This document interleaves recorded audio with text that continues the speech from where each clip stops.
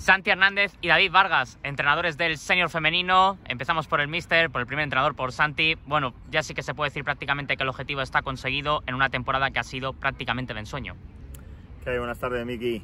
Bueno, pues la verdad es que no nos imaginábamos cómo hemos acabado la temporada, de cómo empezamos y muy orgulloso de todo el equipo, de todas las chicas. Bueno, es verdad que la segunda vuelta no ha sido lo mejor que queríamos, pero la verdad que bueno, hemos competido, hemos quedado ahí en esa posición, nos falta todavía un partido por disputar y iremos con todo a, a intentar sacar esos tres puntos. Además, David, tú que has estado tanto en el senior masculino como el femenino, a este equipo desde luego que no le ha faltado el hambre y desde luego que se ha asemejado en ese sentido al equipo más veterano de nuestro club. Completamente, ha sido un equipo novel porque se ha hecho nuevo, pero vamos, el rendimiento ha sido espectacular, nadie se esperaba que fuesen a rendir tan bien y más que el rendimiento, sobre todo han hecho una familia y una piña muy rápido, que ha, derivado en lo que han hecho. Y eh, al ese hilo, en ese sentido, eh, Santi sobre todo ha destacado el papel de las veteranas eh, de este club en un equipo que era prácticamente novato, pero que no se ha notado nada.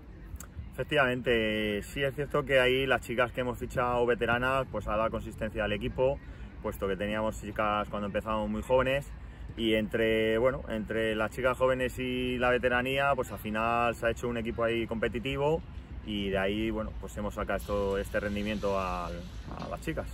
¿Cómo ha sido ese espíritu de superación dentro del equipo, eh, David, dentro de esa juventud y de esa novel, ese aspecto novel del que empezaban en el mes de septiembre? ¿Cómo han conseguido competir con canteras eh, que tienen mucha tradición en el fútbol madrileño?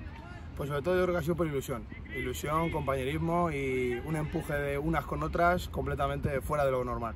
Porque una empujaba a la otra, la otra contagiaba al resto y ha deparado en este rendimiento que ha sido, vamos, asombroso.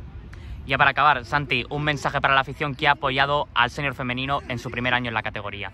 Pues desde luego darle las gracias a todos, a toda esta afición de que nos ha seguido partido a partido eh, bueno, eh, mismamente este último partido ha, sido increíble con toda la afición porque necesitamos esos tres puntos. Eh, y qué voy a decir, que nos vemos al año que viene si Dios quiere y que estemos aquí con más afluencia de gente y les deseo lo mejor y buen verano. ¿El tuyo, David?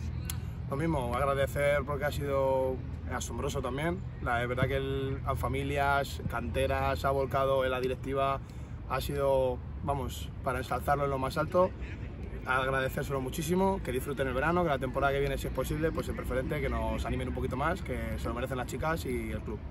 Pues muchas gracias chicos, enhorabuena por la temporada y suerte para esta última jornada. Gracias a ti, Miki. Gracias, Miki. Venga, buenas noches.